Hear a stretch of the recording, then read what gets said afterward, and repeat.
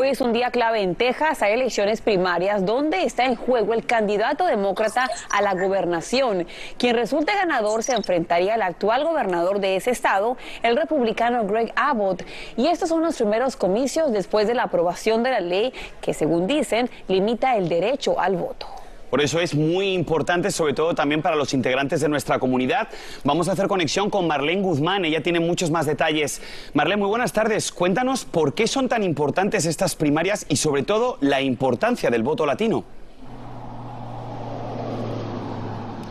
Carolina y Borja son uno de cada cuatro los latinos registrados para votar en estas elecciones primarias y los que podrían definir el cambio en estas elecciones. Y también, como ustedes mencionan, estas leyes restrictivas aquí en Texas que fueron aprobadas por el Congreso el año pasado, pues están haciendo más difícil el proceso de votación, específicamente para las minorías y también para las personas de la tercera edad.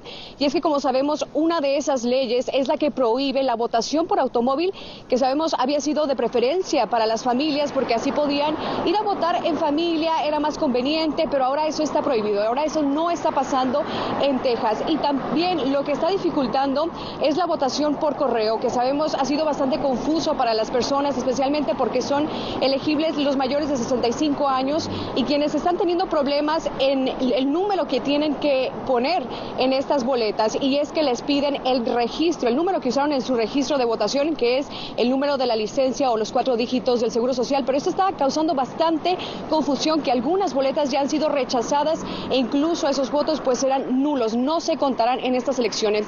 Ahora, los comicios que sabemos son de noviembre se definirán bajo los dos que lleguen a ser los candidatos de cada partido, el demócrata y el republicano. Sabemos por Texas que hasta el momento el Partido Republicano llega gran ventaja, esto con las votaciones anticipadas. Hasta este viernes más de un millón de votos se han han emitido para el Partido Republicano y más de 600 mil para el Partido Republicano. Y sabemos están las contiendas, la más importante, la del gobernador Greg Abbott, y que sabemos podría tener mucha probabilidad de enfrentarse al candidato republicano Beto O'Rourke. Así es que sabemos esa es bastante importante. Y aquí en esta ciudad fronteriza sería la del Distrito 28 para el Distrito Congresional.